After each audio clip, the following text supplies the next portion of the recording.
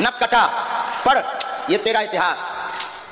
ये क्या लिखा है? एक व्यक्ति परीक्षा लेने आएगा बीच में टोकेगा बदतमीजी करेगा नालायक है उसको बुलाने की आवश्यकता नहीं ठिकाने लगा भी देना है आशीर्वाद।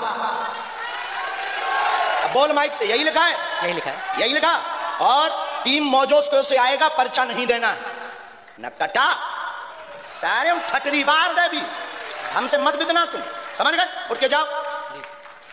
नालायक। नहीं मेरा दोस्तों, इस वीडियो में आप जिस पत्रकार को देख रहे हैं, वह इस देश की सबसे बड़ी वामपंथन बरका दत्त द्वारा भेजा गया था। यह पत्रकार पंडित धीरेन्द्र शास्त्री जी के दिव्य दरबार में जाकर उन्हें ललकारने लगा। पंडित धीरेन्द्र शास्त्री जी ने उसे अपने पास बुलाया और उसका पर्चा पहले से ही बनाकर रखा था वह दिखाया। हर्षित शर्मा नाम का ये पत्रकार मोजो स्टोरी नाम के चैनल में काम करता है, जिसकी मालकिन आधुनिक भारत की सूर्पनखा बरका दत्त है। पंडित जी ने उस पत्रकार की पोल खोलकर उससे भरे दरबार में माफ़ी मांगने को कहा। वह पत्रकार शर्म से पानी पानी हो गया। दोस्तों, दिव्य दरबार में कितनी बार कितने पत्रकार परीक्षा लेंगे? दोस्तों, ये पत्रकार किसी पादरी या मौलवी की सभा में क्यों नहीं जाते हैं? जय बागेश्वर धाम।